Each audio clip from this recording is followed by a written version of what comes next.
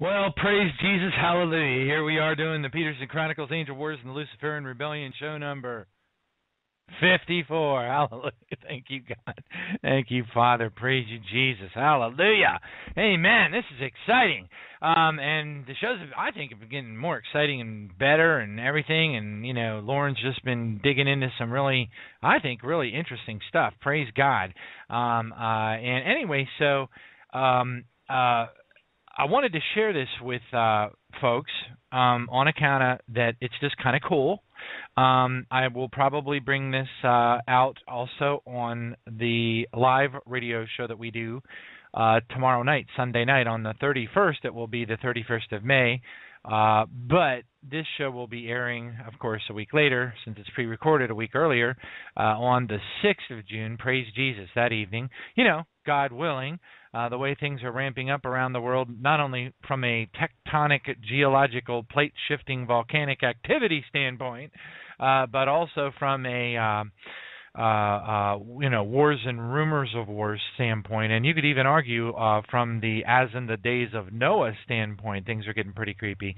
Now, a lot of people are uh, excited about the stuff going on with CERN, and while I find it stupendously interesting to to to look at, analyze, read articles on. Because praise God, I do come from a science background. Um, uh, I also am keenly aware that the father has everything ultimately under his control. Now, whether or not the father relinquishes that control over the CERN operation uh, after the Great Tribulation begins, that's anyone's guess. The the but he's controlling it for absolutely. They are not going to create any black holes in CERN. They're not going to. There are not going to be. There will not be a single portal opened by Lucifer, leaving demons into this realm, unless the Father ultimately allows it. Okay, so we have to really kind of get our arms around the level of power and th- and that and I didn't used to understand that. I'm going to be perfectly frank with you folks. I, I there are some phenomenal books by some very godly men. Uh, there's one uh, written by the title of God at War. Um, a lot of really good Christians and super theologians, really brilliant ones in some cases, uh, came to conclusions that the war between uh, what appears to be a war between Lucifer and um, and the Father is a tangible war, uh, and there's a little, uh, you know, there is certainly evidence to indicate that um, Lucifer has uh, potentially some tricks up his sleeve, and he actually still, even to this moment in in our time space, at least from our concept or our perception level, that Lucifer has some you know, sneaky master plan, uh, and some people think that he might actually plan on pulling a fast punch or a fast one on the father. And there is scriptural evidence to indicate that uh, that does tend to be his modus operandi. But when we truly understand the the magnitude of the power of our omnipotent, most high El Elyon Father, uh, God, um, then we then then and and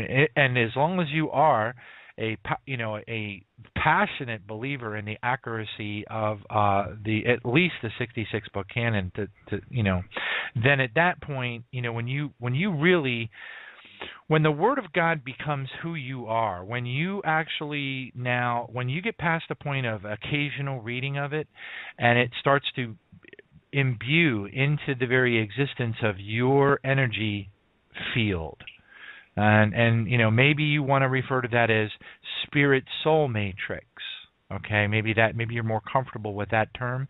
Uh, you know if you look at our existence from a particle physics standpoint it might be more uh, accurately described as a particle field or energy field that's being held together uh, in an impossible to explain miraculous manner by um, well the power of Jesus Christ ultimately. So if we are living in, which there certainly is a lot of information to indicate so, a matrix of some type, a hologram that is, uh, and and one could even argue, and might be correct by doing so, that literally all existence is one form of a, a phenomenally amazing hologram that is ultimately being created and manipulated uh, and controlled by our heavenly Father. Um, all things were created by him and for him, and through him all things uh, were and are created, or by his pleasure, all things were and are created. And I, I know I didn't get that exactly right, but that's basically Revelation 4, uh, verse 11. Praise Jesus. We have to understand the magnitude of the power of our Father. Think about it. If Lucifer was all that powerful, uh, you know, and and the Father wasn't creating him a break, uh, we wouldn't even be going through what we're going through right now. The Father would have stomped them out. There wouldn't have been a Luciferian rebellion. It, it would have been it would have been game over day one. Uh, it's a guarantee.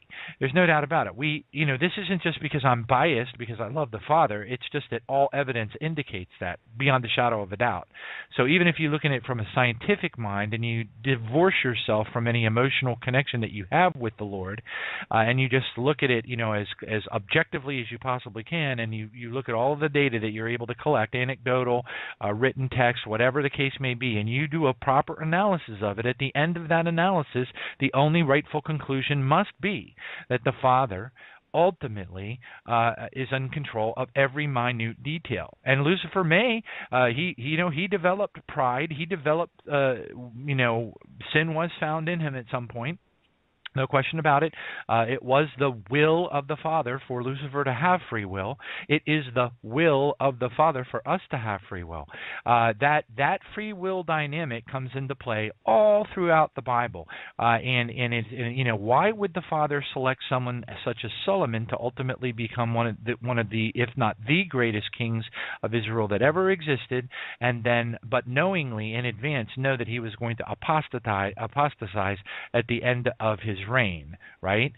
That doesn't, you know, what about uh, uh, Saul, King Saul? There are so many examples throughout the scripture that make you scratch your head and say, hey, uh, gosh, why did the Lord allow that to happen? So there appears to be, by design, um, a little bit of entropy and free will dynamics built into all of existence, which, if if I were somebody, and again, this is purely imaginary on my part, admittedly so, theoretical slash uh, uh, uh, imaginary. I'm I'm using my sanctified imagination and I'm trying to assume, hey, if I was somebody as powerful and amazing as our heavenly Father is, then wouldn't it make you know what fun think about it. If you're a little kid so here's your here's your analogy. You're a little kid and you're sitting on the ground in a pile of dirt right? And you've got all these, you know, most of us who are in, you know, if we're over 45 years old, if we're over 40 listening to this show, praise Jesus. If you're not, you might not know about them, or you might, you might, who knows?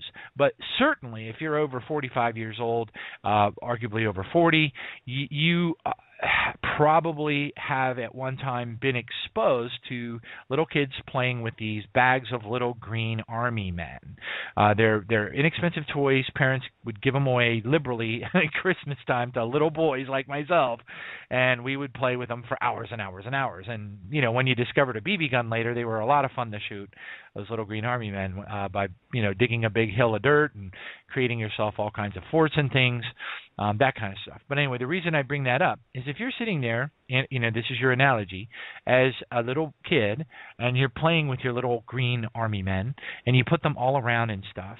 Um, you have that ultimate level of control. Okay, oh, this one got his head shot off. You bust off his head, you, you lay him on the ground, he died. Right? You can move your troops around wherever you want to move because you are in complete, full. I don't I don't know how else to put it. The words cannot describe, but the level of control when you are cre- when when you are manipulating 100% of all the elements and attributes associated with the, those army men. You can melt them with a Bic lighter.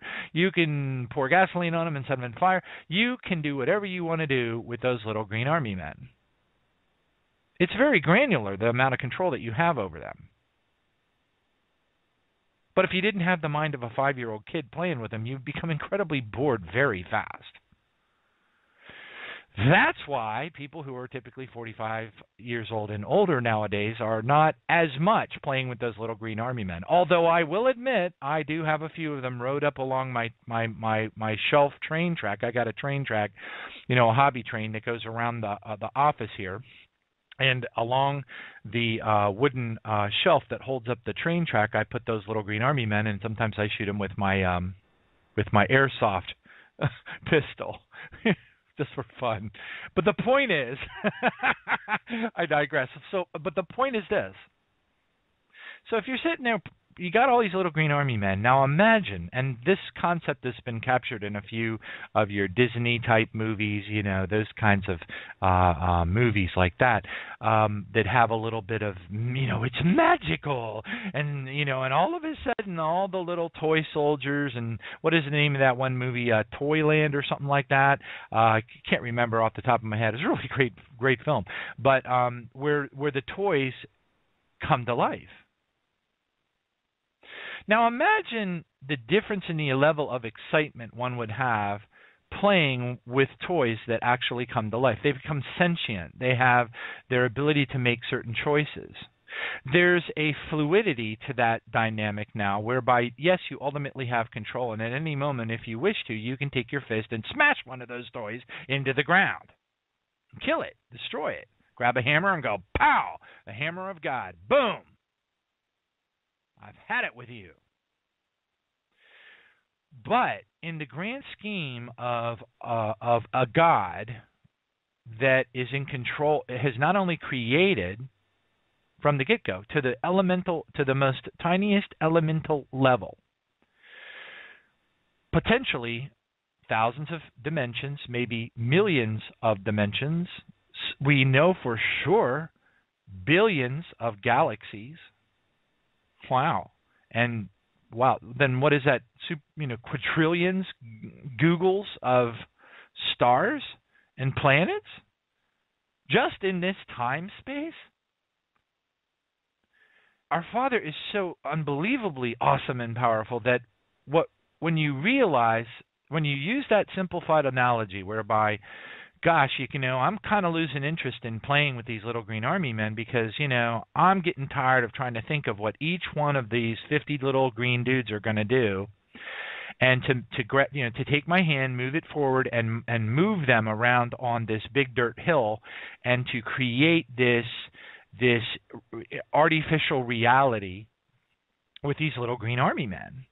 After a while, the granularity of having to dork around with each and every one of them over a long period of time gets a little boring. Now imagine that on a scale that the Father is dealing with and how incredibly omnipotent and awesome He is. Multiply that across billions of galaxies, quadrillions of stars, gazillions of planets, a smorgasbord of life forms, as, as Brother Pedersen puts it, and multiply that times the number of dimensions and time spaces.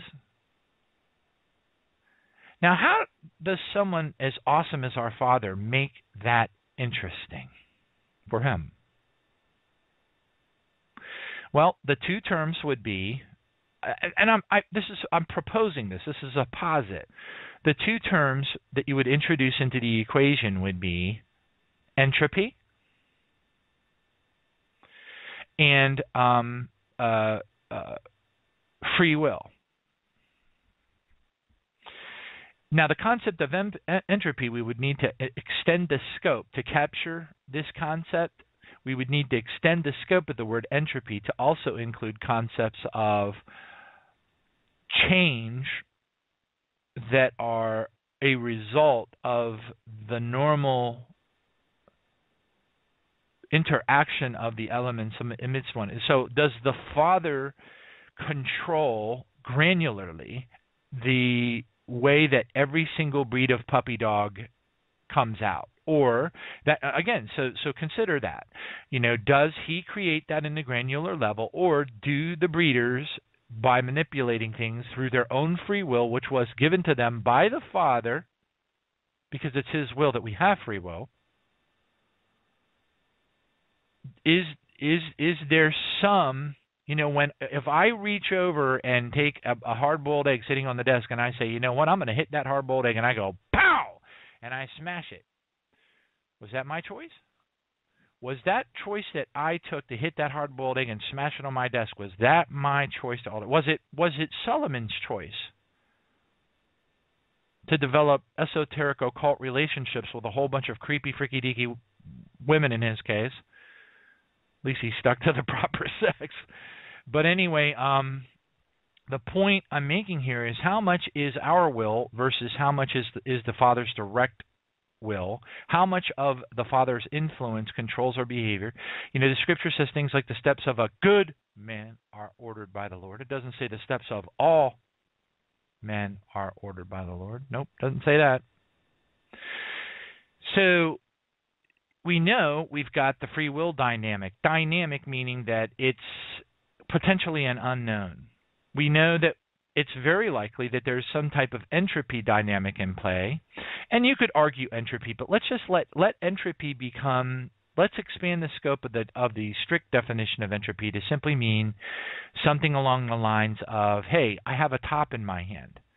You know those little toys that kids play with the top, you call them a top and you spin them and they spin just like you can spin a quarter on your desk. Without the interplay between the physical scientific components of existence being having some sort of mathematical norms and predictability to them, you would not be able to say, "Hey, that top is going to stop spinning eventually." So you say, well, does the father control the length of time that that top spins, or were the various inter uh, uh, uh, physical and electromagnetic interactions on that top as a result of you spinning it in the first place, do they play themselves out against the backdrop of the physics that describes that top's existence in this time space? That's what I'm referring to when I'm talking about entropy. I'm also including within the scope of the, the concept of entropy, maybe a bad choice of words, but nevertheless, this concept of that same scientific interplay of particles uh, in this particular environment, whether it be simply electromagnetic plasma, whatever whatever the different players are, elements are in that existence, whatever holds together that God created and potentially manipulated hologram, analyze that you know you have to you, you, again going back to that little kid sitting in front of the the the big pile of dirt with all those little plastic green army men. After a while, when you're moving them around manually, each one by one by one by one, it gets boring.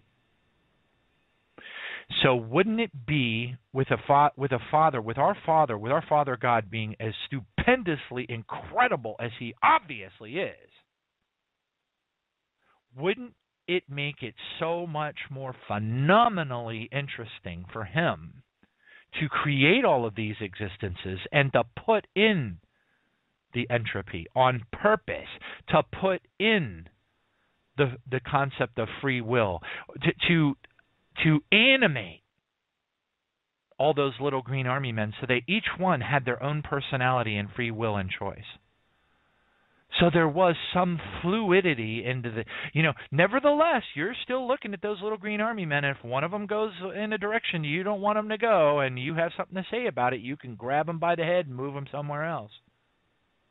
But it makes it so much more fabulously interesting when they're animated and they can go about remember the little uh uh uh, uh the little um um football games that you could get. It started out with football games with little uh little football plastic football players or whatever and in the earlier days probably even wooden ones uh that that you moved around with your hands. And then they stuck a vibration engine into the toy so that by vibrating the the the football field Mm, you know toy thing it would cause them to vibrate all around and and potentially the little guy with the styrofoam football might actually not run the opposite direction but might actually go in the direction you were hoping for and it became so interesting because now there was some semblance of free will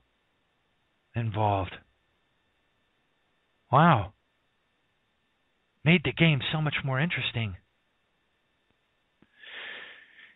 That analog understanding of the dynamics of the universes and the existences of all of everything that God our Father created adds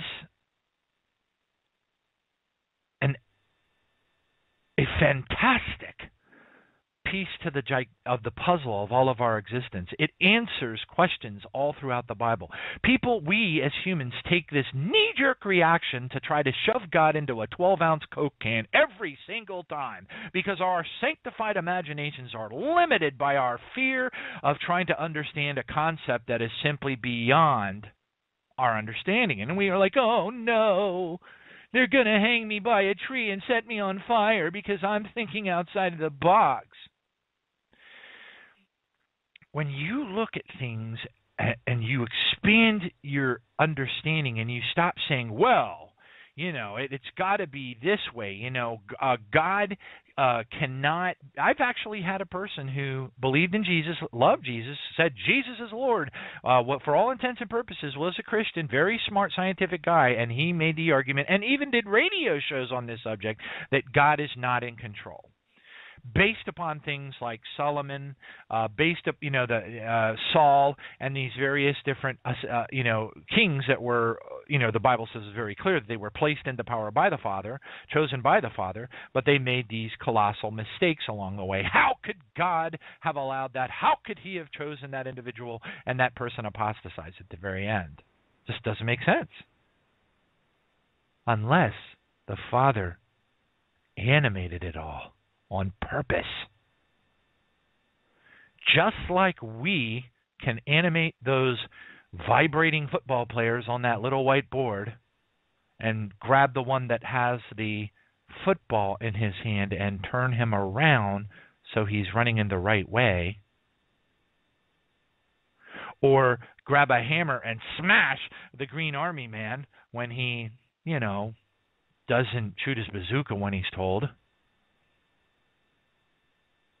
it doesn't prevent that entropy from existing. It doesn't prevent that free will from having a major impact on the overall outcome of any given scene of that fantastic movie. And don't even get me going on parallel existences because that whole concept will just, that one there will short circuit most really smart people's minds. That's why these movies, like, you know, these TV series is like Continuum and these ones that uh, deal with time travel, uh, this concept of, hey, uh, golly, if you, if this person over here dies in a car crash in 1987 and has the potential of causing uh, the entire world to to disintegrate uh, 500 years later because that you know his great great great great you know uh, descendant uh, would have been the the one to stop the uh, you know uh, creation of the XYZ superplasma quadrasonic weapon.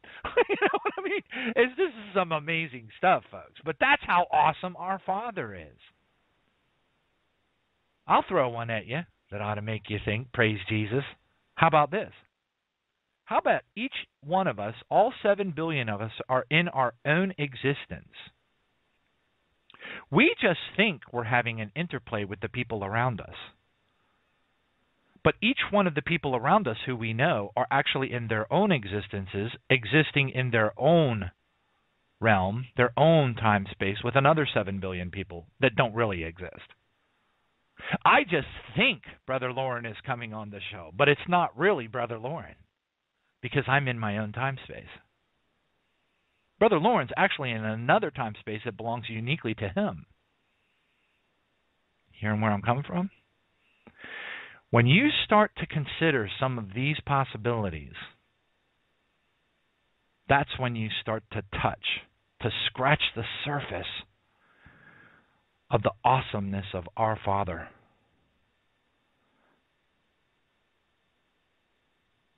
So,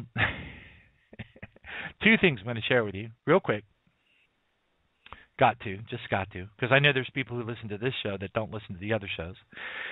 But it, it's just awesome. So praise Jesus. So I've been telling people. I won't dwell on it. I'll speak. I'll speak on the uh, 31st show. I'll talk a little bit more probably about it uh, tomorrow night. Who knows? As the Lord leads if I live that long. Maybe my heart will stop beat, beating in this time space. Now, I've been telling people, praise Jesus, thank you, Father, and I, I've mentioned this before, but I'm but I'm not doing it from a pride standpoint. I'm doing it from an awesome God standpoint, because I fear God way too much, and I beseech Him on my knees in tears to just completely obliterate and burn away with his holy fire any existence of pride in my heart and completely keep me humble and contrite in all my interactions and fill me with his love. That is the one of the most if not the single most paramount petition that I have before the Father every single day because it is elemental in our making it into the kingdom of heaven. Now that being said, I am awed and honored and amazed whenever, and I know Brother Kenneth is too, I know Lauren is too, all of us I think should be, when something that we did maybe five years ago or uh, six months ago turns out to maybe it was a guess. I remember the first time I heard about the existence of the of the testimony of Pastor Howard Storm and how he met with Jesus and had a conversation. And Jesus showed him extraterrestrial life forms all over the universe of many, many, many, many, many different kinds. Some of them pretty creepy looking, by the way. When I when I heard about that, I just about I, I was I was in tears.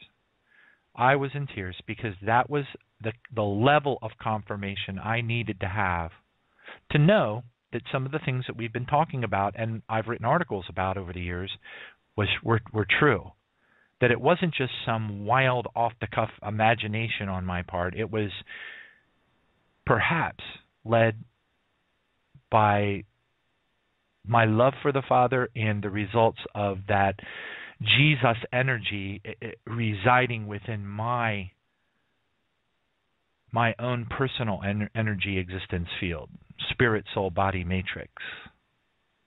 And that's a very humbling place to be it's it falls under the category of who art man that thou art mindful of him? And then you're just super duper awed and you love for the father so much because you realize that he really is talking to you that there is a connection. Because not everybody gets the big visions and even some of them who do get the big visions and dreams well might make the mistake of thinking that they were from the father when they weren't. So we all have to be careful but here's I'll share this for what it's worth. Over the years, 420 plus articles on Tribulation Now, many things that we've talked about on the radio shows, over 500 of those at this point. We've spoken about them in some cases in great detail. In other cases, we've done entire radio shows on the subject, but they were speculatory at best, backed up by the best understanding that we had at that moment of time uh, from Scripture from testimonies of people who appear, to the best of our discernment, to love the Lord with all their heart, their mind, and their soul. In some cases, a lot better than some of the church pastors that I've known over the years. God bless them. We're all at our own different places. But when you get that confirmation, when you write an article in 2009 or 2010, or where you do a radio show in 2011, and uh, you know you're talking about what if this and what if that, and what if God, what if God did this, or what if, you know, you're always hoping that you're on the right track, but you're never really sure, so you're careful how you word it. You're hoping to edify, to excite the imagination, the sanctified imagination of the people who love the Lord, so that they'll dig into the Bible and ask those same questions themselves and become excited about our Father, obsessed with our Father. That's where we need to be. That's where we need to be in our walk, awed by Jesus the ability to instill that incite, and, in, in, incite that level of excitement and obsession into the hearts of, an, of another a heart of another believer is is is very very important, especially in today's day and age where we're distracted by everything and anything around us. Now, I'll share this with you. This is awesome. For me, it's awesome. For you, you might be like, oh yeah, well, yeah, just another goofball, uh, you know, patting himself on his bald spot, but that's not the case. Believe me. I'm just sharing it with you. Those who have been regular listeners of Tribulation Now's uh, radio show work know that I have publicly stated several times. Now, know that A, I follow prophecies and dreams and visions as best as I possibly can because I believe it's the only, if you know how to discern and you're able to correlate the data properly with some critical thinking skills, thank you, Jesus, then you should be able to discern and weed out the, the, the falsehoods from the consistent stories that will always come down from the throne room of God. Consistency is key. God doesn't speak with a forked tongue. He doesn't say he's going to recover the United States and bless them at, at the same time speaking to other prophets saying he's about to judge them. It doesn't work like that. Now that being said, if you if you if if it's no secret that that I believe with all of my heart, I'm absolutely absolutely beyond certain that that is the only way to seek the Lord today. Amidst all of the noise, falsehoods, uh, misinformation, demonic stuff, protocols of the learned elders of Lucifer, the lying media, all of the creepy stuff that's going on across the world, the only shot that you have in this noise level is to be paying as close attention to the Father as you possibly can. And when you have a reasonably trustworthy group of prophecies, dreams, and visions that you can correlate the data from and get the word directly from the throne room of God, what a mighty blessing that is. Because it's your only shot. The rest of it's purely speculatory. Any of your analysis of YouTube videos, iPet Goat, all that kind of stuff, folks, forget about it. You can do it till you're blue in the face. It's not going to be fruitful. It's never going to be fruitful. You can do it. It's interesting. It's fascinating. But it comes from the underworld. Now, I still to this day believe there is some merit in, in analyzing some of the things that are that come out of the underworld, but keeping it on a very long rope, way in the background, and focusing as much attention as you possibly can on seeking the Lord and listening to His servants, the prophets, as we are admonished to throughout His Scripture, particularly the Old Testament but several places in the New as well. Now, all that being said, especially considering, like Brother Lawrence says, which is very, very true, that the people who, that the that the apostles and, and the people who ultimately wrote the New Testament and, and and the disciples of the people of that time in that church existence weren't using the New Testament. They were using the Old Testament, so their behaviors were based upon what they, what you know, the, the letters and epistles that they may or may not even have ever had a chance to see or know about, if they did, which most of them probably did not, ever see any epistles. So they were all 100% dependent on, well, arguably the Septuagint and the Old Testament, and not the not the not the New Testament version. I'm talking about all Torah, all Old Testament and the writings of the prophets. That means that they through the power of the Holy Spirit and the gifts of the Holy Spirit, one of which, according to the Apostle Paul, was the gift of prophecy, was being the most important one to edify the church. They were keenly aware of that and constantly in communication with the throne room of God via that communication channel. Yes, I said the word channel. Call me a New Ager. anyway, praise Jesus. Now, that being said, here's what happened.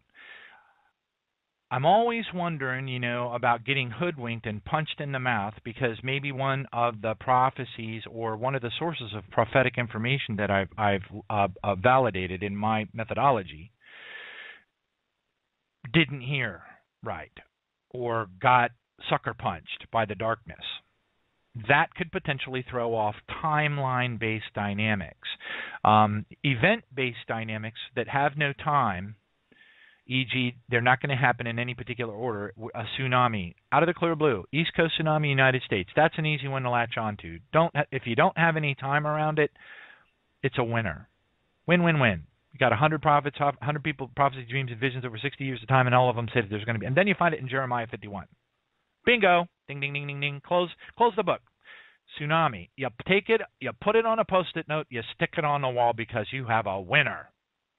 However, when you get into things that are detail oriented, like timing, things like the claim of the third secret of Fatima, which is astonishingly amazing and very well may be legit, because if you apply the principle of what, how does the devil benefit by coming out and telling everybody through these little girls or whatever, how does the devil benefit at all by telling everybody that the that there's going to be a pole shift, you know, potentially in 2017 sometime?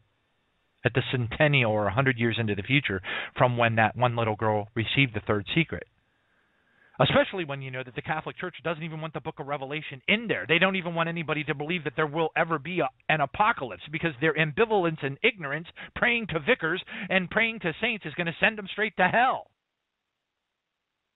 That's exactly where the Vatican wants people to be anyway. So they the last thing they would want to do is release the contents of the third secret of Fatima when it speaks about the book of Revelation in it and confirms it. So that makes it especially interesting to people like me who are performing an analysis over it. And when it says at the centennial point of that particular apparition or a, a, a supernatural event, the revealing of that, if you will, vision that did sometime around 2017. Now these these are the wild card prophetic events.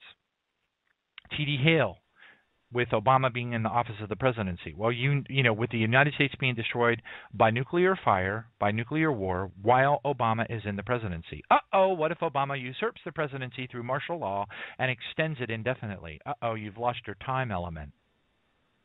Is it 2016? Is it 2017? Starts to get foggy. Anyway, my point is as follows. I've made the argument several times that the best possible way that we can hope for slash track, watch, watch, watch for the coming of Jesus, watch for the coming of Jesus. Watch, when I say the coming of Jesus, I'm not talking about the second coming, folks. I'm talking about the rapture of the bride. Because she gets taken off the earth before God's wrath. She is taken off the earth before Revelation 6:17. So my argument was this new term called contextual immanence.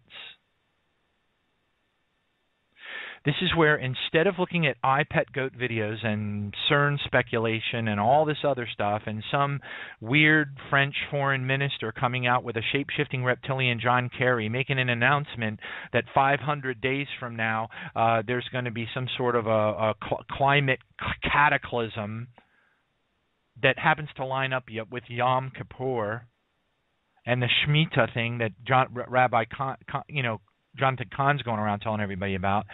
It's not that I don't think there's a Shemitah. It's not that I don't think that um, there's underpinnings of truth and prophetic. You know, all of this stuff plays plays into it. No doubt about it. We see the supermoon coming up in September. We know that God's Healer Seven is, is has been saying the acceptable year of the Lord. However, we also know that the same prophetess, Sister Barbara, came out with a word from the Lord and said, I will be making a declaration on behalf of the Lord on September 24th. So the Father talked to her. Now, if if there's going to be a cataclysm and a meteor and six seal and all that stuff in September, then Sister Barbara isn't going to make a YouTube announcement, is she? But people don't want to think about that. People don't want to pay attention to the Sarah Menet vision. People don't want to pay attention to the Joe Brandt dream of 1937. People don't want to connect the dots because when the dots tell a story that they don't like, I'm raising my hand by the way, raising my hand. When the dots tell a story that they don't like, they want, want to reject it. Well, here's what happened.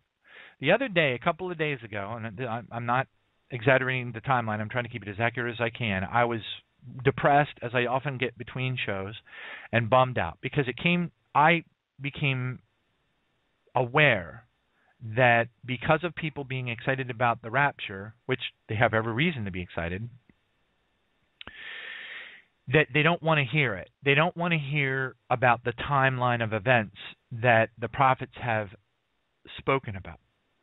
They don't want to hear that we're going to be here through the three days of darkness. They don't want to hear, or they would like to accelerate the events. They would like to say, okay, they're all going to happen. Uh, the Psalms 83 war, the Ezekiel 38 and 39, all that stuff is going to happen in the matter of two or three weeks, which, by the way, is actually possible.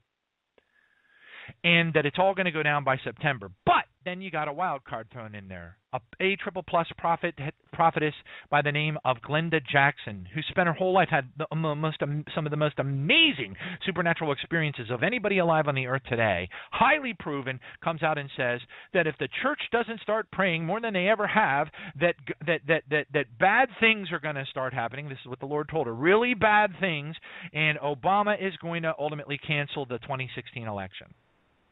Hello. You can't cancel the 2016 election in, in September of 2015 because it doesn't exist. See, when these types of prophetic inconsistencies enter into the timeline equation, it really makes a person think. So I was feeling pretty lonely because people don't want to hear it. They want to believe that September is it. They want to believe we're leaving in September. After all, we got a super. It's the fourth of the blood moon tetrad. It's a super blood moon, and boy, oh boy, do the iPet Pet Goat and and Devil uh, YouTube videos out there point like crazy to that date. Why do you suppose that is? Apply the principle of quid bono to that dynamic. What does the devil have to gain to point every one of his occult sources directly to that date? A lot of depressed and very disappointed Christians, arguably many who are probably part of the bride. What would the devil gain by dorking up the whole September expectation dynamic? Who does the devil probably hate? And all of the humans on the earth, all seven plus billion of them, who does the devil probably hate the most? The bride. Praise God. So, anyway, here's what happened supernaturally, and I'm going to bring on Brother Lauren here in just a second, but I want to get this out to you. This is powerful, folks. God's Healer 7 just came out with a prophecy yesterday it wasn't Sister Barbara, it was Brother Dan. And I'm paraphrasing. Uh, I don't have it uploaded to the console yet, but I will for tomorrow night's show. But but the Lord spoke through Brother Dan and said, "Do not count my son's arrival by the hours. Count it by the events." Do not count my son's arrival by the hours, e.g., time. Count it by the events. The events. I kid you not, folks. Praise Jesus. So there is yet another godly confirmation, I believe, directly from the throne room of God, that the way tribulation now has been looking at the coming of Jesus for the bride is precisely the way that the Father would have us do it. Praise Jesus. When I heard that, my mouth flew open. I mean, you could have stuffed three grapefruits in my mouth as big as my mouth. I was like, whoa, what a confirmation. And most people won't understand it. I do. The Lord has been speaking through his servants, the prophets, the events that are about to come upon the earth and the order and then where the rapture and the harvest and everything fits into it, but nobody wants to pay attention. And I, for one, want to serve God as best as I possibly can. What a blessing. Praise Jesus. So, anyway, I wanted to share that with you. Oh, and also, tonight, I was praying about going to Pennsylvania just this morning uh, on my knees. Um, I'm like, Father, I'm really struggling with this whole moving to Pennsylvania thing. It's not that I don't want to because I do, but, uh, you know, if you're going to delay, um, you know, maybe, I don't know, you know, should I rush? Should I hurry? Should I hire painters? Should I spend more money? How fast do I, you know, will you please, Father God, open the pathway for me so I understand that dynamic. How how soon you want me to move to Pennsylvania? Will you help me understand that father? I need more communication from you on that and in the middle of my, I was speaking it out loud on my knees in my prayer closet place, you know, and on this recliner which I have anointed with holy oil, and I'm I'm on my knees there praying, and I'm saying, Father, I need you to. I'm in the middle of the sentence. I need you to help me, and all of a sudden my phone goes root root root root root root, and it's a special alert, by the way, and I get this flush feeling over me. That special alert was a special sound that I assigned to an earthquake over a 7.5 that I hardly ever hear. And sure enough, there was an 8.5. That's the peak amplitude, the peak, the peak magnitude of the earthquake. The first report is the highest magnitude measured. And then, as people say, they downgrade it. Well, in reality, what it is is it's peak versus peak average and it averaged out to be a 7.8 at peak average. Nevertheless, an extremely powerful earthquake. When I pulled out my phone, woot woot, I, I'm like 8.5 earthquake off the coast of Japan. Are you connecting the dots? Isn't that awesome? That was the Lord saying to me, Get a move on, homie. Put some fire in your sneakers there, boy. Don't make me grab my hammer and hit you on the head like one of them Green Army soldiers. Praise Jesus. Anyway, Brother Lauren, are you there? I'm here. in oh, the virtual man. reality zone. Exactly. We're here in the the holographic uh, zone in this time space. Praise Jesus. Yeah, Let's go I'm ahead not- and play the. I, I was going to go ahead and intro intro you in with the disclaimer. Let's hit it. Okay.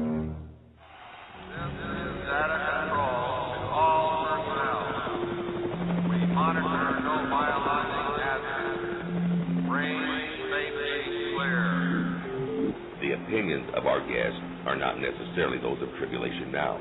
TribulationNow.org, TribulationNow.net, TribulationNow.com, Facebook.com forward slash Tribulation Now. Or for that matter, ah, heck, they may not be anyone else's opinions. So, be a good Berean, Acts 17:11, and search the Scriptures daily to see if it is so. May God bless you.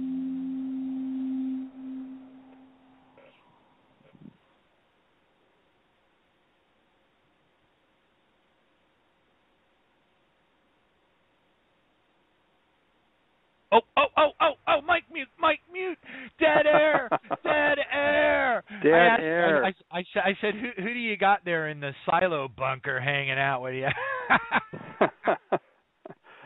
uh, it's all virtual anyway. You don't really exist, and I don't exist.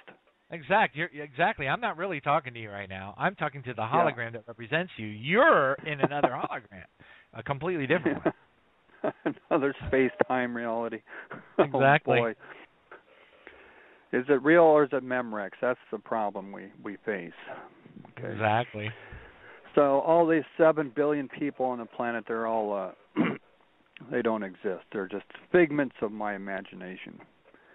And I'm the only person here that's in in any kind of reality. yeah, right. okay, so hey, um, to, to Yeah. kick off the um, because I want to step back and hand 100% of the microphone over to you, but I but I I did promise to read this because you sounded like you wanted to hear it, and I Yeah. don't want to interrupt you once you get going.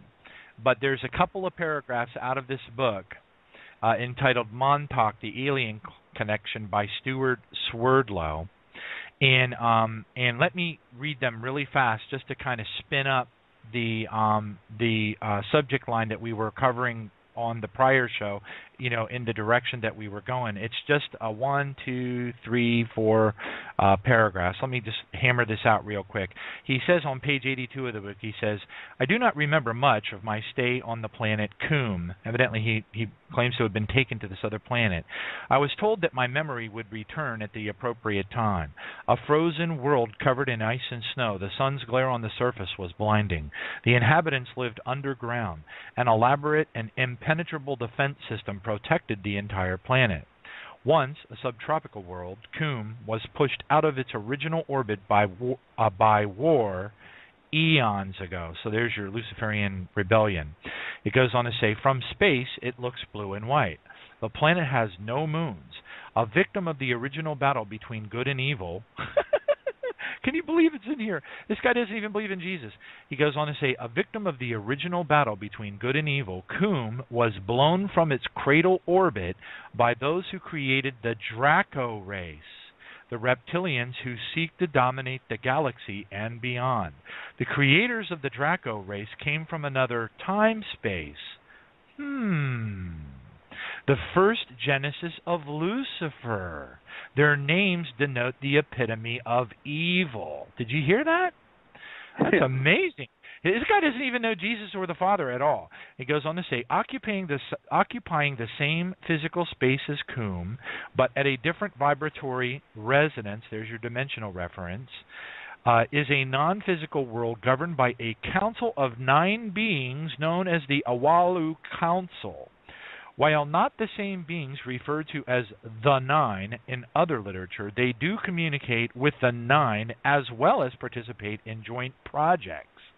The Nine first appeared in literature in the works of Dr. Andrija Puharich, uh, in his work with quote channelers, he came across a few individuals who claimed to be in contact with this ET group. Uri Geller was the first to actually identify them as former physical beings who transferred their minds and soul essences into nine advanced computers. Each wow. one of these I know. Each one of these computers represent a different aspect of the mind of God you know their god right the nine communicate yep. with a few select individuals across the planet in an effort to upgrade the collective consciousness of humankind.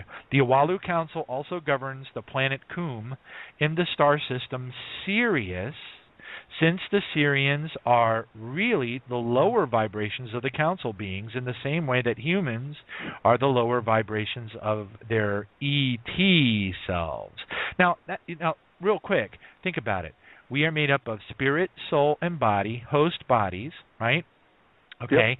And then when we die, our spirit separates and goes either into hell, our spirit soul matrix goes either into hell or into heaven.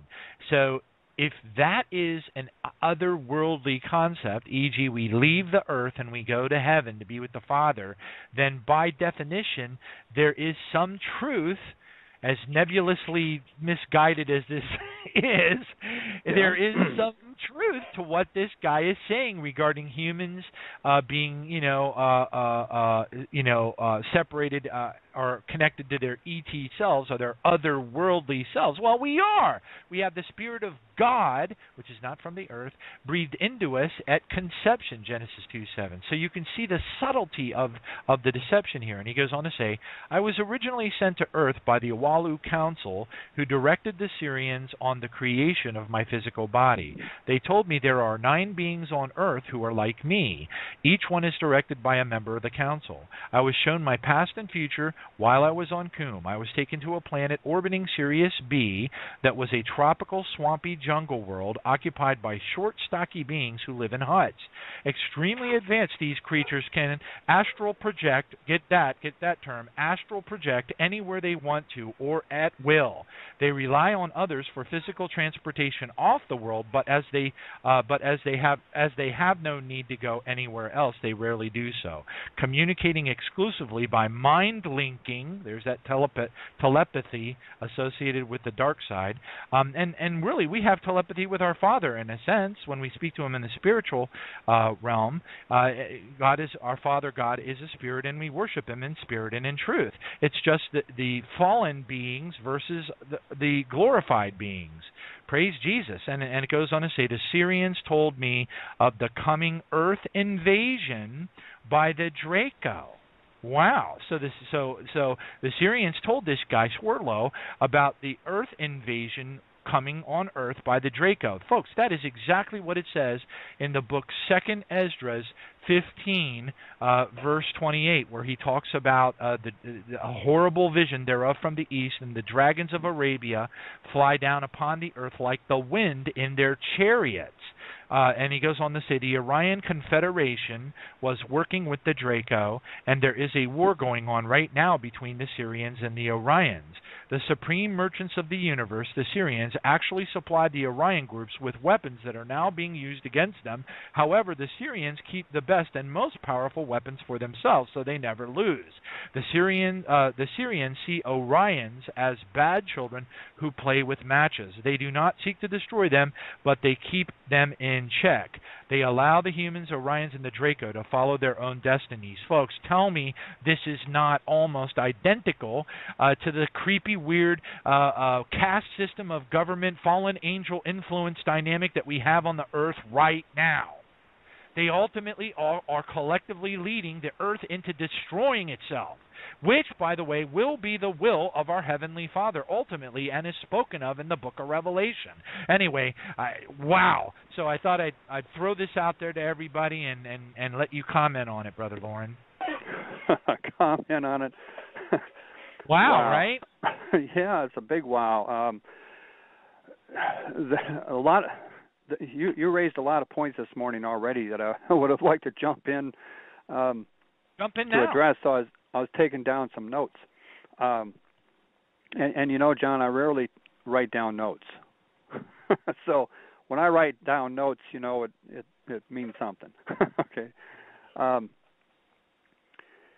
okay, I'm going to try to take this from the the top, um, hit on some points here. Um, for one thing, um, take a hammer for example. A hammer, you know, hammer. At one point in in uh, humanity's evolution, a hammer would have been regarded as high tech compared to using a stone. Okay, banging a, an object with a stone. Now we have this manufactured hammer that would have been considered high tech, but of course, in today's world, a hammer is considered low tech.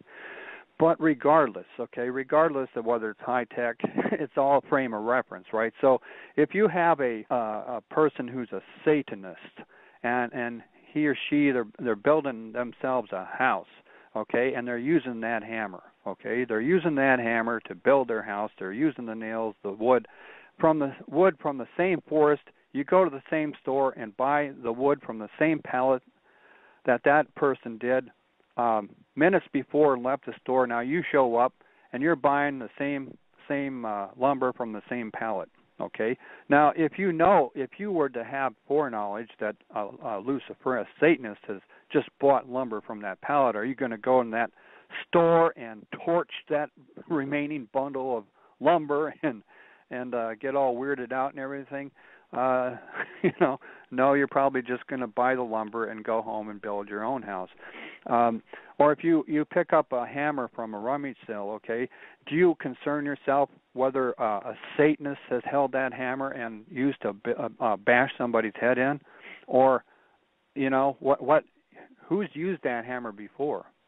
Okay, usually we don't concern ourselves with such um, types of uh, possible realities. We just see a hammer there at the rummage sale. It's for uh, maybe ten cents, a dollar, so we have need of one, so we buy it. Okay. Now, on the other hand, if we're operating in discernment, there's some of us who might pick up that okay, there's a hammer there, but I'm getting a bad vibe from it, so I'm not going to buy it. Okay, I've had I in the past I've collected computers. Okay, computers and think, well, a computer's a computer's a computer, but not necessarily. It depends on who has used it before. Okay, there have been times when I have um, walked away from deals because I did not have a good vibe, a good enough vibe from just those inanimate objects called computers. Okay, so I walked away from the deal. Um, so that's a possibility, but what I'm trying to get at is normally we don't uh, concern ourselves or you know we we we go work work for uh, Exxon Mobil Corporation and we don't give it a second thought that maybe they're in the the boardrooms in the back rooms of the boardrooms. There are Luciferians worshiping Lucifer and he's appearing to them telling them what what to do and how to invest and how to screw the economies of the world and everything. So but we're we're good Christians and we go happily working for Exxon Mobil okay that kind of thing rather than operating in, in true discernment and calling them on the red carpet. Um, so this, what I'm alluding to is, is this matrix we live in, this matrix that has so well concealed itself from our ability to even realize that we're in a matrix. Okay?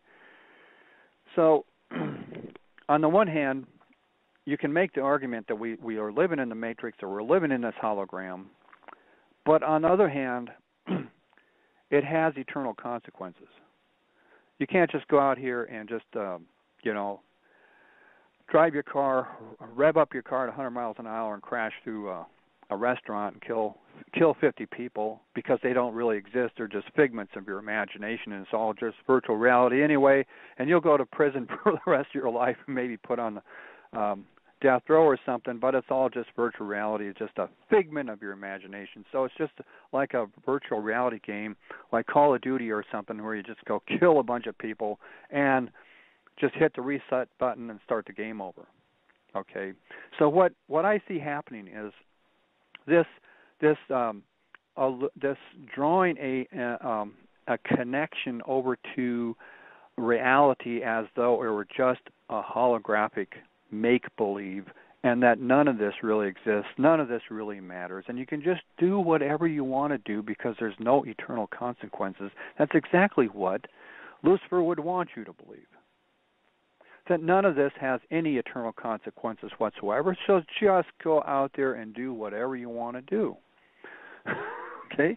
If you want want to gamble your your life away, you know, uh, pull, pulling the slots and playing um gambling games and stuff and throwing your quarters down the rat hole and your dollars and ten thousand go to Las Vegas and plunk down ten thousand hundred thousand dollars in the big bet of the, your lifetime. Go right ahead because there's no eternal consequences.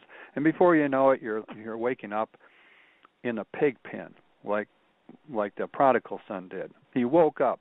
He spent his life savings his inheritance. He spent it all and he ended up in a pig pen with pigs Okay? That's when he woke up. That's when he woke up from this illusion that everything's just an illusion, everything's just a hologram, and ha- has no consequence. He woke up to the reality that his lifestyle that he chose did have a consequence, and he ended up in the pig pen with pigs. And if you ever grew up on a farm or been around with pigs, you know that pigs are not nice creatures to hang around with. And certainly not to get in the pig pen with them and live like them. Okay, is not really what we have been called as our destinies to live with pigs in the pig pen. So this prodigal son woke up. Now, what if he would not have woken up? What if he would have continued that lifestyle choice that he made, his free will choice to live the way he wanted to. And he was under, let's say he he came under some kind of delusion that living in a pig pen was God's will for his life. That it was his destiny, pro or con, you know. that it was his destiny to go from riches to rags and live amongst pigs. And that that just the way it is, you know, that was his destiny and that's his script to live Whose script? Who wrote the script for his life? Okay? When we look at the Bible, when we understand it more fully, more, more completely, we can come to what I believe is a wrongful conclusion that everything that happens in, in all of existence is God's will. So we can go to that extreme and say, well, the 60 million abortions in this country, United States of America, was God's will to happen. So praise Jesus for 60 million abortions. How ridiculous do we want to get, folks? You can go into the scriptures time and time and time again, and it grieves God's heart of this kind of behavior, this kind of reality. It grieves it so much that it brings judgment upon a nation and a people that go that direction. What do you think this prodigal son what would have happened to him had he not woken up to his to the real reality behind the matrix of the lifestyle choice that he made. He would have continued in that. And if you know anything about pigs and hogs, they will turn against each other on a dime, especially if you happen to be, you know, pig speaking, if you happen to be a runt of the litter. The other guys will gang up on you and just bite you, bite you, bite you, and rip your tail, rip your ears, grab your your little feet and just chomp into you until you just die. That's what pigs do. Okay? They gang up on the runts of the litter until they're dead. And they're vicious, they're cruel, and they wallow around in their own filth. When when we look at the world today, what do we see? We see a world wallowing around in its own filth. Is that God's will? Are we just merely puppets on his string? Did he just create us and just stick us on a shelf? Just sit there and be good little children and don't say anything, don't think anything, don't be anything. You are my little puppets to play with. My little toy soldiers. My opinion is God created creation to be participatory. So when he brought forth you and me, it's so that we will participate in his creation. And as children of the Most High, we have an even more privileged ability to participate in the creation that the Godhead created for us. Okay, and it's not to sit on a shelf. It's not to be a pew warmer in a church somewhere, a dead church, but to be active. And if the only way that you can be active is prayer, I remember you you saying, I think it was you, John, that mentioned, uh, was it a lady or I think it was that God wanted her to do nothing but pray, and she just that's all she did from the moment she woke up to the moment she went to sleep. Of course, she ate and she did other things, you know, that are needful for sustenance of the human body, okay, and paying bills and stuff. But every spare moment, she didn't watch TV, didn't watch the news. Um, she just prayed. All right. The prayers of a righteous person availeth much. Okay? So is that just virtual reality we're talking about? Praying, okay? Or is it real reality? Okay?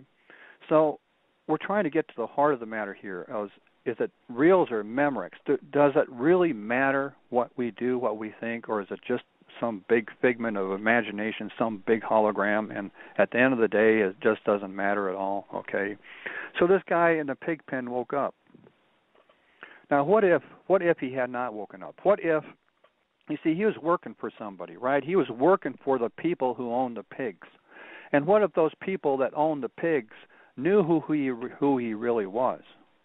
And they knew that if he ever woke up to who he really was, that he'd want to go back to his father and to his former kingdom.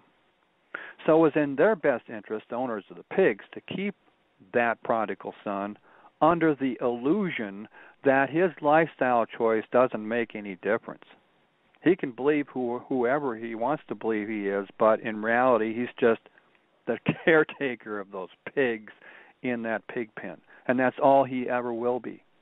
Okay? Do you have somebody in your life that says you're nothing but a caretaker of pigs and you're going to be in the pig pen for the rest of your life? Do you have somebody in your life that's like that telling you that? And is refusing to allow you to wake up to your true inheritance, to your true calling, to your true elder brother who went to the cross to free you, to liberate you, to be all you can be in and through Christ Jesus? Or are you going to accept a lie that you're nothing but a caretaker of pigs and lowly with the pigs and living in the pig pen of life? Okay? Now, what if he would have continued in that lifestyle choice? What what would his the owners of those pigs, if they would have convinced him that he's nothing more than a caretaker of pigs, and that he has no future, no hope of anything else in life, and that would be very depressing, would it not be, folks? Again, if you know anything about pigs, would would you really want to be uh, take care of pigs for the rest of your life not just take care of them, but end up in the pig pen with them. Okay. Um, if that's how you want to live your life, that's your choice. But I think anybody in their right mind would not want to live that way for the rest of their life. It's like a job choice with a very short duration. Like as soon as I can get another job somewhere else, I'm out of here, folks.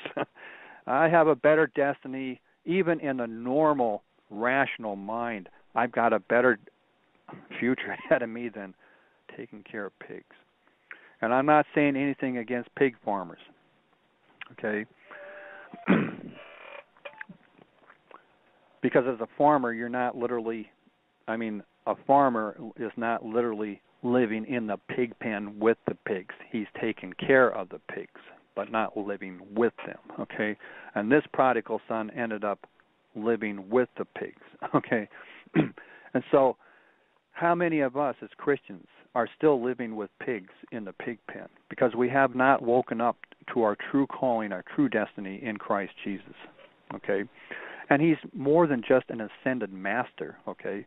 So that much, you know, the other side will afford him as a good man, a good prophet, an ascended master amongst many ascended masters. Uh, but they that's typically where they leave it at. Jesus is more than an ascended master. He's the King of Kings and Lord of Lords and the ultimate creator with his heavenly Father who created all of existence. Now what has what has stymied, short circuited the church's understanding of things is staying within the confines of the traditional story of creation, not realizing that the six days of creation are in reality the six days of restoration of that which became corrupted due to the Luciferian rebellion and angel wars in the heavens. Okay, a real war with real tangible results. And as I mentioned uh, earlier episodes, this fallen one third got became consumed, became to one degree or another by an altered reality, an altered frequency. If you can imagine the original creation of multiple universes, multiple dimensions, etc., heavens, okay, with each with a smorgasbord of life forms just teeming, okay, and but all harmonious to God's original intent and purpose and glory, okay. And but when the Luciferian war and the eh, war in the heavens, angel wars took place, up to one third, and I don't know if that's a hard fast figure, one third, but I use that as an illustration. So I'm not going to be dogmatic about it, but I use that as an illustration up to one third because in the book of Revelation, chapter 12, makes reference to one third of the angels that fell with Lucifer that were thrown to the ground, that kind of thing. Okay, chapter 12. Um,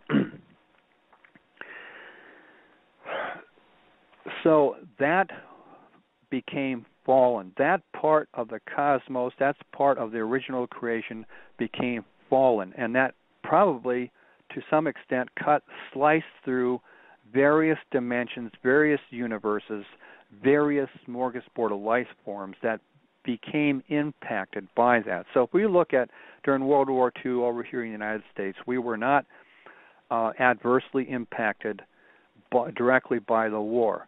Uh, nobody came over here and bombed our cities or, or uh, launched an invasion on our shores. Now that's about to change, folks. Uh, probably very soon in our our own lifetime is we're going to see that reality play out here on U.S. soil. But during World War II, that did not happen. So the war zone was the European theater and over there in the Pacific theater. But if we take the European theater, for example, um, there were areas that at the end of the war that were still in pristine condition. Even though it was considered enemy territory, they were still in pristine condition. Um, but there were other areas that were completely bombed out, like Dresden, for example, and other places that were just wiped off the map, just reduced to rubble and a, an inferno. Okay, so picture that as the fallen one third. As as there's areas within this fallen one third that were left in pristine condition, all the way to the other extreme where you have the ultimate chaos and darkness. Okay, chaos, and and everything in between. Okay, so but within that fallen third, it's has been phase shifted from its original frequencies, its original vibrations, into an alternate reality. So we are within this fallen one third, and we are experiencing this altered reality we are experiencing this phase shift. I will submit that we are not the side of matter, we are the side of antimatter. Our very flesh bodies are made out of antimatter. The scientists are viewing this from the wrong direction because they don't understand this fallen one third concept. They don't understand that this fallen one third became phase shifted from the original creation frequencies into an altered frequencies. And and so scientists typically are looking from in the in the quote unquote universe from our perspective, from the antimatter perspective, claiming that we are matter and the other side is antimatter. When it's the reverse. God's side is a side that matters and it's our side that is antimatter, anti God, anti Christ. Okay? So much so that God had to put it into confinement, i.e., the sandbox analogy that you brought up, John, many episodes ago, to put this fallen one third into a sandbox.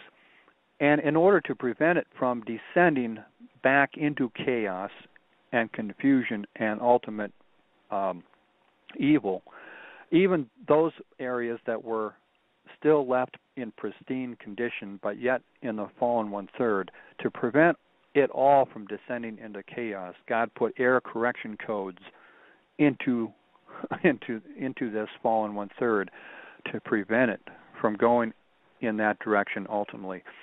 And so these error correction codes, we can even see that in our own immune systems of our of the bodies of the original Adam and Eve that that God created.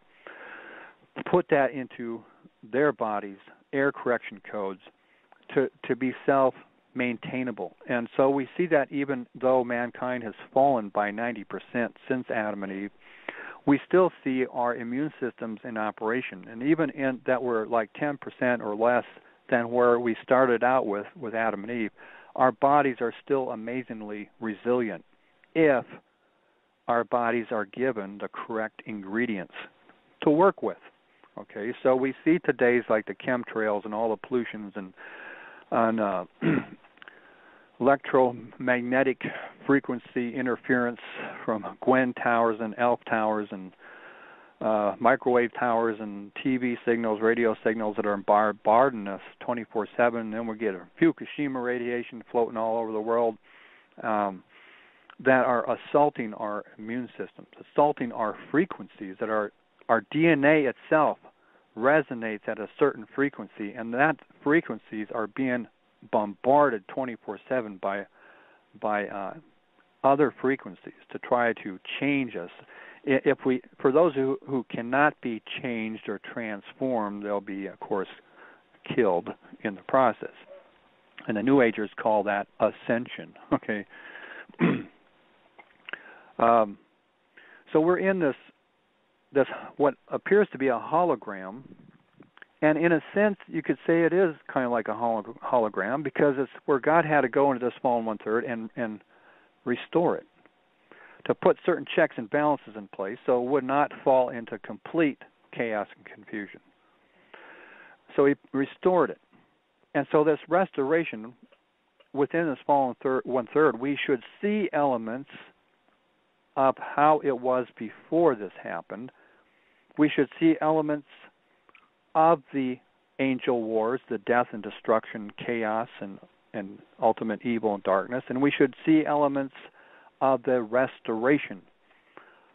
So we should be able, if we have the correct perspective and the correct instrumentation, we should be able to see all three of those types of elements within this fallen one third. Just like if you were a house, you go into a house, uh, fire fire inspectors go into a house or building that has partially burned, and so they want to investigate the reasons why. So they go in, and, and uh, obviously there's parts of the house that are untouched other than the smoke, and there's parts that are totally torched and burned, and so uh, they might have to condemn the entire structure, or maybe it hasn't gotten so bad that they have to condemn it, but the owner is going to restore it, going to renovate the house, and when the renovation is done, it's going to look like nothing ever happened. You won't even be able to smell a, a whiff of smoke on the walls anymore. Okay, it, it, there, there's experts who know how to do this. Experts in the the field of restoring buildings and structures that have succumbed to fire. They know how to go in and and fully restore these structures. Totally amazing. So if we know how to do this in the natural realm, think what our heavenly Father knows how to do from His capabilities and his perspective to restore this fallen one third. Okay, so when you look at at the world today, and, and, and the world today, if those of us have lived long enough, we go back 40, 50 years when when the environment itself was more pristine, and we look at all the natural beauty in the world, and we think, wow, you know, and this is a fallen reality that God restored. Okay, and we can see how beautiful His restoration was think of how it used to be before it became corrupted. Think of the unfallen two thirds that have continued to live in their pristine worlds in the unfallen two third, have continued to receive the fullness of the Godhead in their daily walks and their daily existences, and have not succumbed to what what this fallen one third has succumbed to. Okay, so this idea of a hologram, it's understandable to one point, but it becomes, um, in my opinion, if you take it to the extreme, it cheapens life to where life doesn't matter. You can just do whatever you want to do. There's no consequences. You can just whatever you want to do. Just go out there and do it because there's no consequences, and, and they're all figments of your imagination anyway. So, um, good luck in a court of law making that your claim. They'll lock you away in a rubber room on death row. Okay, and if that happens, uh, that guy that did the Aurora Batman shootings, he's up on trial. That's what brought this to my mind. On trial again, you know, uh, they're going over this, and uh, he'll be probably sentenced for life in prison. You know, on the technicality that he was insane when he did this he may or, may very well have been insane when he when he committed these atrocities. And there's evidence to, to show to indicate that the, he was not a lone gunman that there was others involved in this. But you know the federal the federal judge is not going to allow that evidence into the courtroom because that would then com- imply a conspiracy. And then how do you go after that information? It's just much easier to pin it on one crazy lone nut nut case okay? Much easier much simpler and he'll be in a rubber room. So when the, when the day uh, comes when he finally wakens up from his uh, delusion, and he realizes fully that he really screwed up, and he's in this rubber room and he's on death row, then what? Okay, no matter what his appeals, no matter how sorry he is, no matter how much good that he potentially might be able to do if he were to be reformed, if he were to be released in, out into normal public, it won't matter because he'll be on death row, and they'll. It's like what was it, Hinckley? Um, he's on constant watch and surveillance because of what he did. So, um, this guy in the pig pen, the prodigal son. Okay, what if he would have continued in that direction? Ultimately, he would have died. He would have died in a pig pen of life and have never woken up to who he really was and even how to get back to where he was. And that's why Jesus came into our pig pen existence to wake us up and say, There is a path out of this pig pen. Come follow me. I know where that path is. You follow me, and I'll lead you out of this pig pen and back to your Father, back to your true inheritance, back to your true rightful standing with our Father. But it has to be done through Jesus. Now, part of this strong delusion, there's uh, portions of this strong delusion I see that has infiltrated the church itself. Because uh, the church not waking up to the deeper truths of God's word even, okay?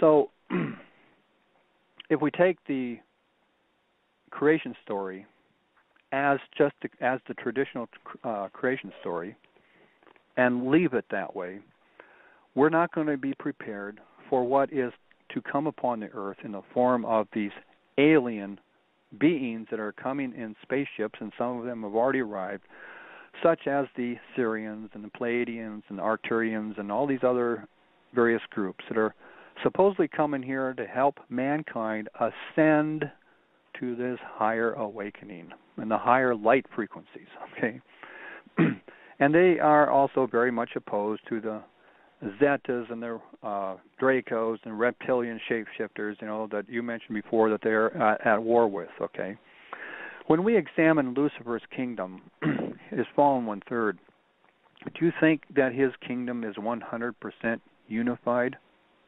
Jesus said that a kingdom divided, house divided, cannot stand. He was making a, an obvious assertion, of obvious truth to Lucifer's kingdom.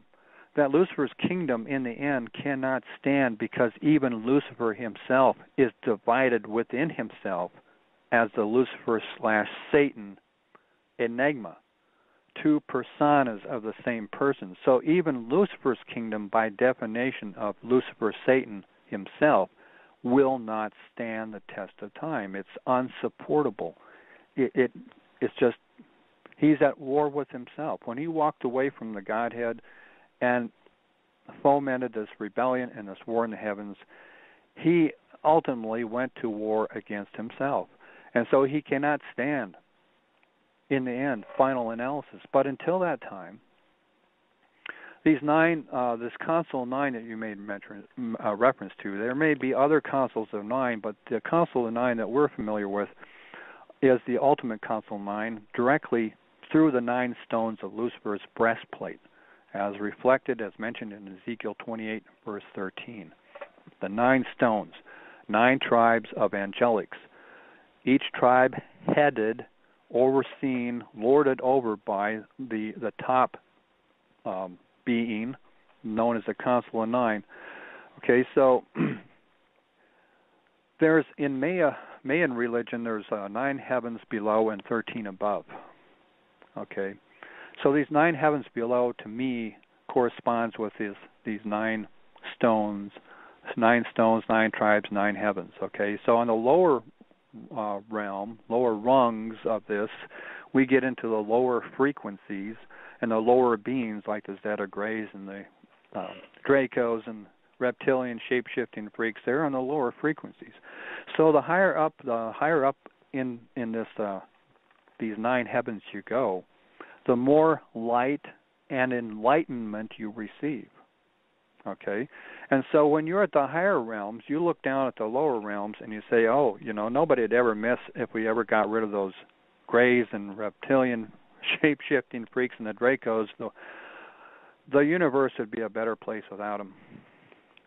And uh, probably justifiably so. It'd probably be a correct conclusion because they are perfectly possessed. Okay. Um, but at the higher realms, okay, I read somewhere in an article, and I I have not been able to find it. I probably have it in uh, my files somewhere, buried deep in my secret uh, files, deep underground files library, is uh, that the ultimate achievement is like the ninth heaven. When you achieve the ninth heaven, you have achieved the full illumination of Lucifer. It's the Lucifer, the spirit of Lucifer. You are at one with Lucifer when you achieve the ninth heaven. Okay? Wouldn't that be just a great experience to achieve the ninth heaven and have full illumination and full the full light of Lucifer? Okay? That's what these new agers aspire to. Is is the full light and love and illumination of Lucifer. The Luciferian spirit, okay? And and they think they if they can achieve that they have achieved at oneness with the universe. But what they're not understanding, just like the church is not understanding, is this fallen one third. That this fallen one third is put in a sandbox, and you can achieve higher realms of illumination, higher heavens, okay, within this fallen nine realms, within the fallen one third, and you can achieve that ninth level of illumination and become at one with Lucifer. Think of Carolyn Hamlett that was part of her testimony. There was a time in her life where Lucifer appeared unto her as the real Jesus. And she almost accepted him.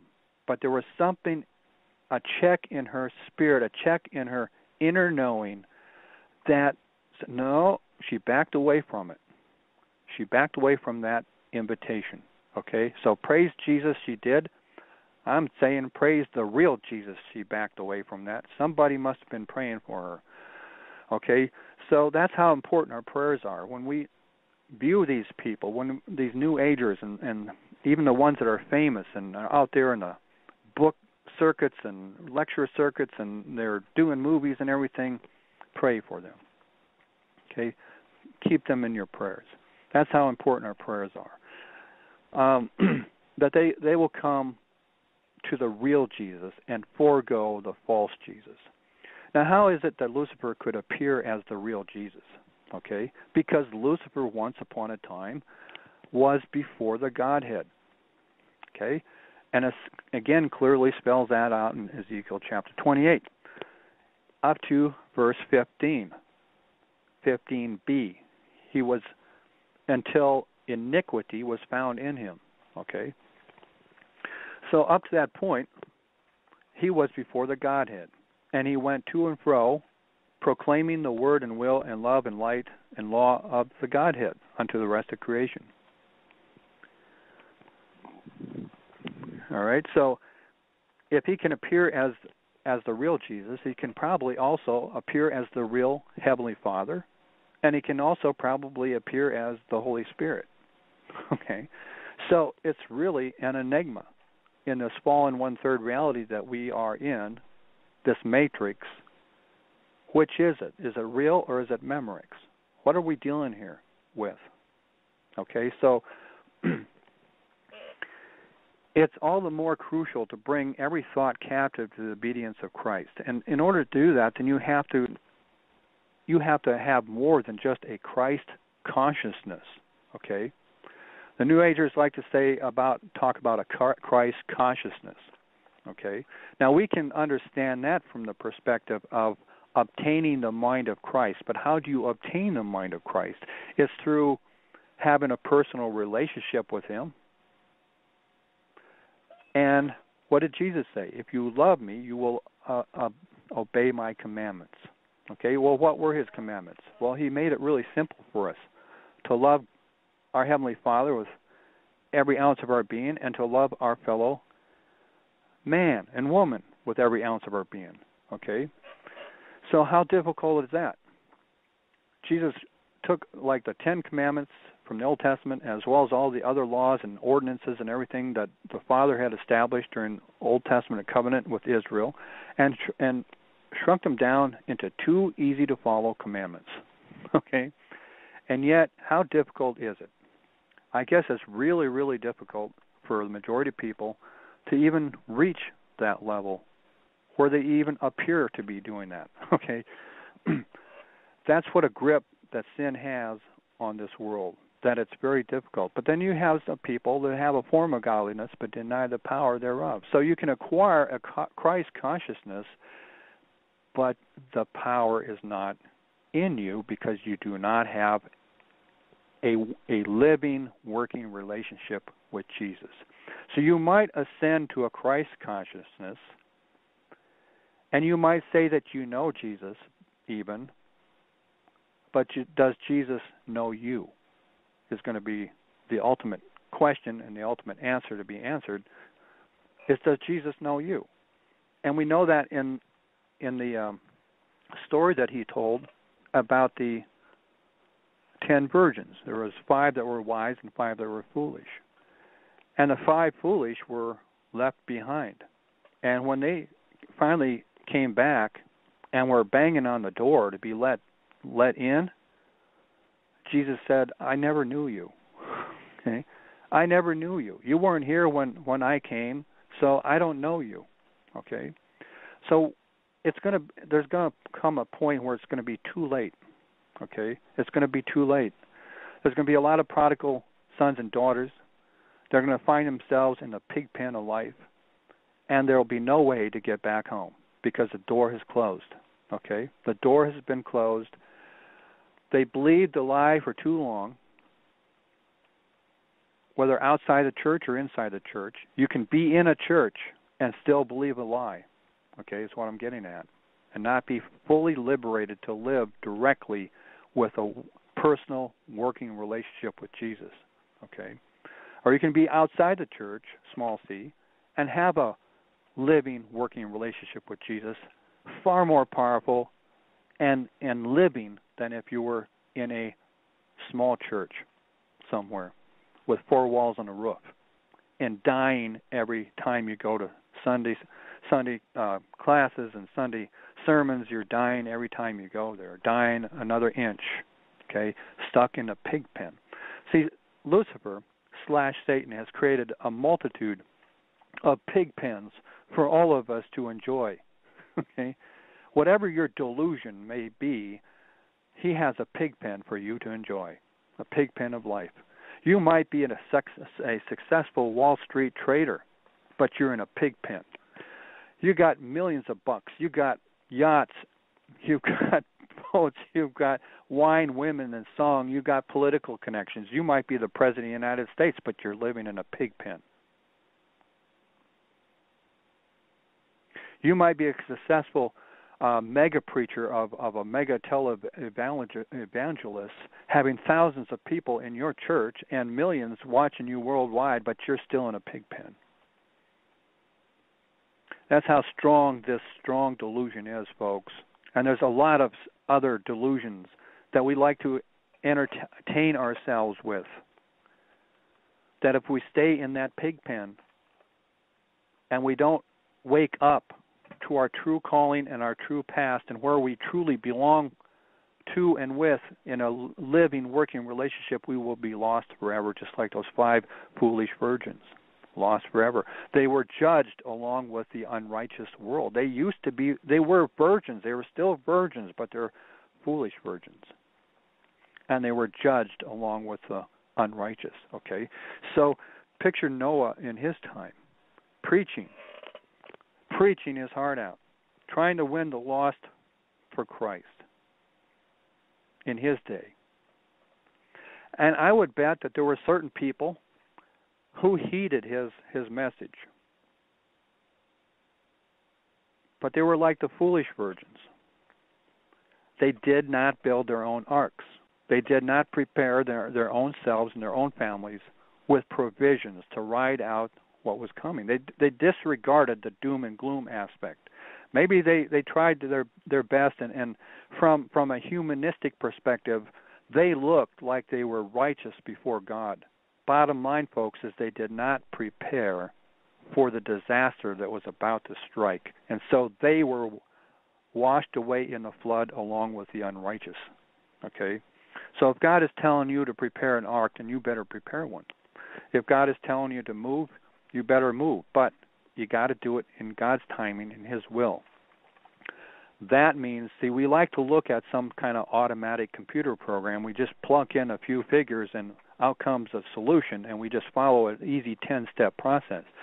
And it's it's we would like like it to be that way, or go to some fortune teller to tell us our our future. Okay, do you want to go to a fortune teller? Do you want to read your horoscope, or do you want to go to the King and Kings and Lord of Lords, and the one who created you to begin with, to know what your future is supposed to be.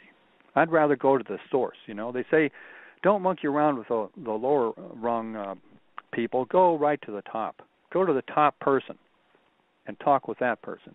Well, our top person is Jesus Himself. So why should we go to fortune tellers? Why should we go to our horoscope and the newspapers and on the internet? Why should we go to the uh, chanters and you know the Wall Street geniuses to know how to invest our money when we should be going to Jesus.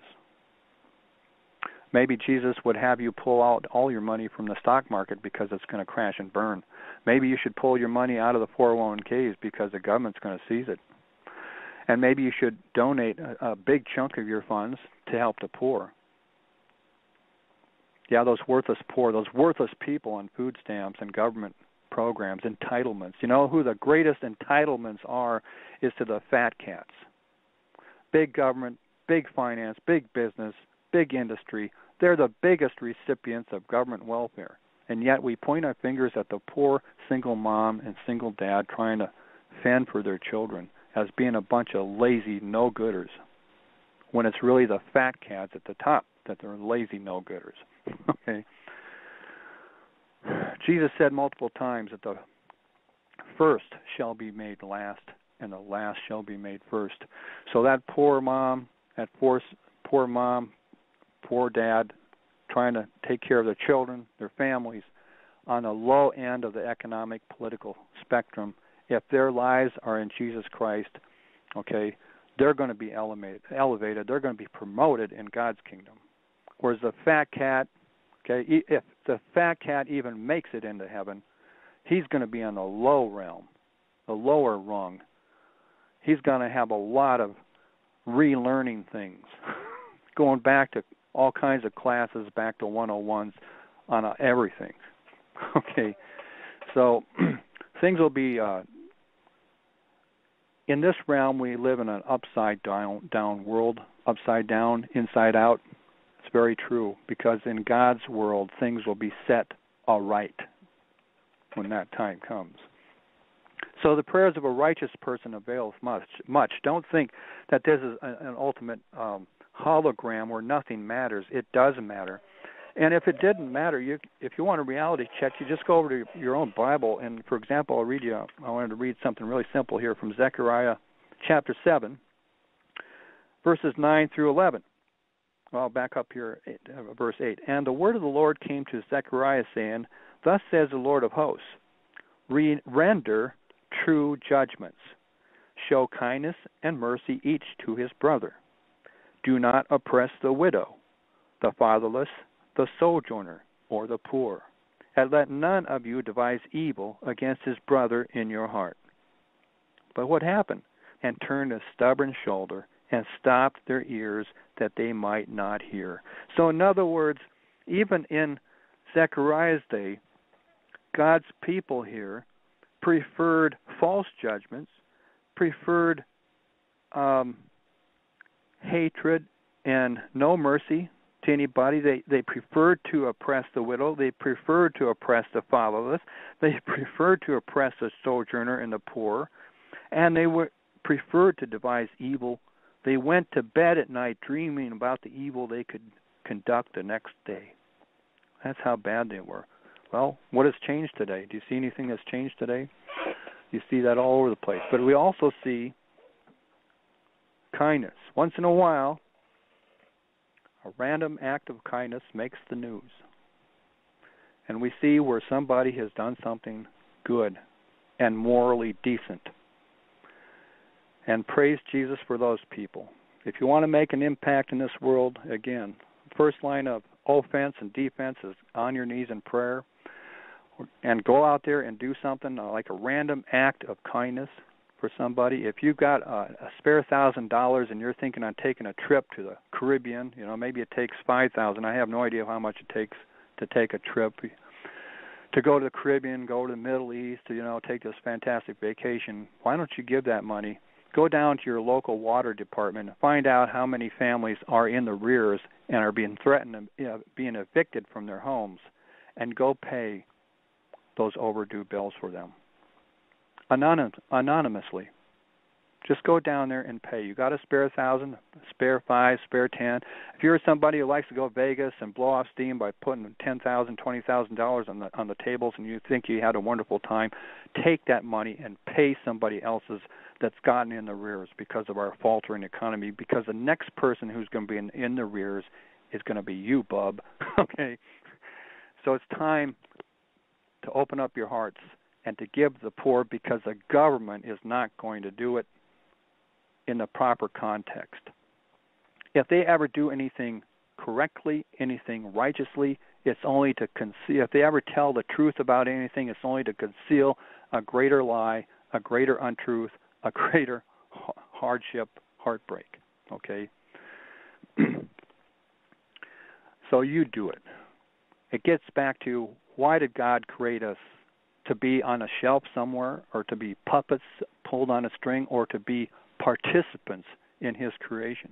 So if we conclude that we are to be participants in his creation, then get out there and make a difference for somebody. Pay those bills. Stop looking at people that are on welfare. We we know the economy is has collapsing. A lot of people who want to work can't either can't find or can't find the kind of work that sustains themselves, let alone a family. So then they're forced to be on these government programs. Get out there and be the person that makes a difference for that person and their family to get them back on their feet. Okay? Get personally involved. So, I've been reading um, the Syri- the Sirian stuff. Okay, so you better believe that um, part of this strong delusion is when these various beings return here to Earth and claim that we, uh, like the Sirians, for example, helped uh, create mankind, you know, and his DNA and everything, um, the creator gods. Okay, so um, one thing we do know from Scripture is we know about the Genesis six problem. Okay, is is that how they mean it? how they became our creator gods. They dorked with our DNA. Okay, um, we know about the Cain problem, um, where the serpent had relations with with Eve and begot Cain. Okay, so we know how that DNA got dorked with, and we know about after the flood, Noah's flood. Um, when the uh, Hebrews came into the promised land, they encountered these giants. So once again, the DNA got dorked with. Okay, our DNA has been assaulted, and it's even assaulted to this day. And yet these Sirians are claiming to be our creators. Okay, so it, I guess it depends on how you look at it. You know, they're claiming to be our creators, but uh, we could make the claim that they've done nothing but dork with our DNA from from our heavenly Father's inception of our DNA, of what our DNA was supposed to be. So, one of the strong delusions that you mentioned before, John, is once saved, always saved. Okay, so if that was the case, then Lucifer never has really fallen.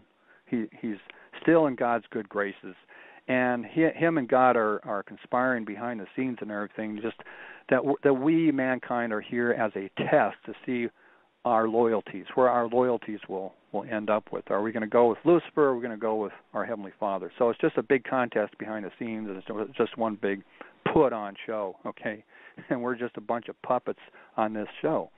Okay, so once saved, always saved. So the reality is that Lucifer was created saved, folks. He was created saved. He wasn't born into sin.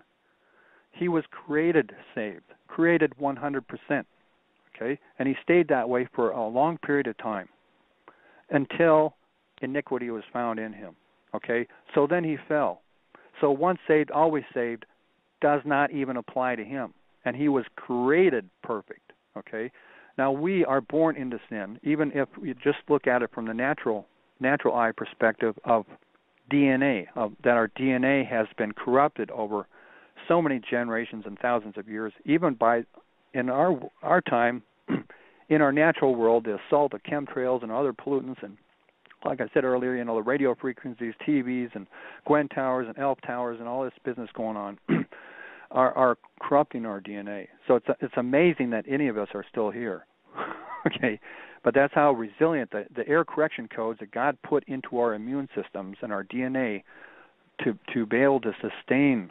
Okay, but there'll probably come a tipping point that'll be so overloaded in our environment that um, a lot of people are just going to drop dead from from this. Just like we're seeing with birds and fish and um, all over the planet that are just dropping dead by the thousands and millions, just dropping dead. At what point does that start happening to us? That one one day we'll wake up to the news that's that a certain number of people in a certain place on the planet they all just drop dead un- totally unexplained. They just all dropped dead. Will we finally wake up and realize that hey, maybe this pig pen we've created for ourselves is not a, a very very good good reality to be in. okay, and okay, once saved, always saved. And then there's the strong delusion through the New Age movement called ascension, that we can ascend. Well, certainly we're in this three dimensional. They, there's a lot of things that the New Age movement understands and understands very well. And so, my first, I knew about the New Age movement like back in the late 70s throughout the 80s, but I never had really talked to anybody who was New Ager. Until uh, the early 90s, I moved out here where I'm at, and I got involved, interested and involved in the uh, local UFO network group and a lot of them were New Agers. So that was my first um, uh, up close, personal, and some of them became my friends. And it was amazing to me that a lot of things that they understand and believe in are are very scriptural. Okay, well, where where where ultimately did the New Age get their material? Okay, from we can say, well, from Lucifer. Okay, well, where did Lucifer get it from? from his former position as the high priest of creation his former relationship that he had with the Godhead. He had it. See, the the longer we spend with Jesus, the more we should be able to reflect his person, his personality, his life, his love to others that we meet every day, right? Isn't that what we aspire to do to become more like Jesus? So, if that's our aspiration, then in reality we should at some point begin reflecting that that reality to others, okay? To be Jesus with skin on. Well, imagine Lucifer having absolutely no um, nothing to impede that process. He was created perfect and he is 100% before the Godhead. He's absorbing 100% of the Father, the Son, and the Holy Spirit into himself during that whole stretch of time, absorbing it. So is it any wonder then that he can appear as an angel of light because that's what he once was, that's what he still is, is the top angel of light, but he's no longer in God's kingdom, okay? He left, he walked away just like that rich young ruler. But he carried his images with him. He brought his images with him. He brought his understanding and wisdom and the light of God, the love of God, and the Godhead with him to create his new reality as though it's that he's the top banana, okay? As though he's the creator of all creation. He's created a pig pen for himself in reality, and it's a huge pig pen, of course, but he's created his own prison. So, this New Age movement ascension, where you leave the third dimension into a fourth, fifth, sixth, seventh, like the Sirians coming from the sixth dimension, these Sirians that have ascended from Sirius B star system they ascended into the sixth dimension or something. I'll, I'll get it more into that in the next episode. Okay, well, to me that means that they were obliterated from the third dimension. They used to be in a third dimension reality, but there a war took place, this angel wars, and they became ascended, which means that their third dimensional reality got blown away and now they have ascended into a higher reality. Okay, within Lucifer's nine heavens, they probably did ascend into a higher reality, higher vibratory reality, okay? But it's not heaven, folks. It's still within Lucifer's domain of his nine uh, heavens, so to speak. Okay? So maybe with enough time and effort that these Sirians on the sixth dimension can ascend up ultimately to the ninth dimension and be totally at one with Lucifer. Wouldn't that be just wonderful? uh, not in my mind, folks. See, they're they're deluded. They're not telling you about this in the church because they don't understand what happened eons ago. They can't tell you these truths. So the New Agers won't tell you because eh, maybe a lot of them don't know either because Lucifer is not about to tell them the truth about these nine heavens and the pig pen that he's in. He's not going to tell anybody the truth about that. And the death sentence, the death row that he's on, portray himself as a God of light and love, and he's always been there for mankind to promote mankind and to be a blessing to mankind. And it's that God over there that the Christians serve is is the is the Satan character. That's how he portrays it. okay, so when God you know, he stretched out the heavens. I covered this before. That implies space and time. Okay, and within this fallen one third, we can relate that there's nine nine uh, dimensions of of Lucifer, nine ascensions, uh, and they had become corrupted. So nine heavens of the Mayas, nine stones of Lucifer's breastplate, the council of nine of the top, nine uh, angelics that are directly answerable to Lucifer, uh, that's nine tribes of angels. That each of these members of the Council of Nine had a tribe of angelics underneath of them, and then it's like a pyramid, you know, uh, going down for each one of them. And the, highest levels of these nine heavens, the highest level nine, you reach true and full Luciferian illumination and being at one with Lucifer. but even at this ninth level, if you are one of those people that have achieved true and full Luciferian illumination, what you are witnessing, what you are experiencing, is the highest order, the highest heaven, the highest reality, but within the fallen one third. Do you see what I'm saying, folks? We have to get beyond this ninth heaven reality of Lucifer and get into our Heavenly Father's reality side of things. We have to get through this illusion. We have to get through this holographic what what the enemy would like us try to convince us that this pig pen we're living in is some kind of wonderful existence. Thank God the prodigal son woke up. Thank God he remembered who he used to be. Thank God he humbled himself. He humbled himself. He he didn't return to his father with arrogance. Not one ounce of arrogance or supposition of who he used to be and what he should be entitled to as a as his father's son. He came with true humility. He said if if I'm nothing more than a, a lowly servant unto my father, I'm better off than being in this pig pen. We can't come to our heavenly Father with arrogance and with ultimately with sin in our life. We have to come with true humility and circumcision of our hearts and have our sins washed away by the blood of Jesus, or we cannot come back to our Heavenly Father.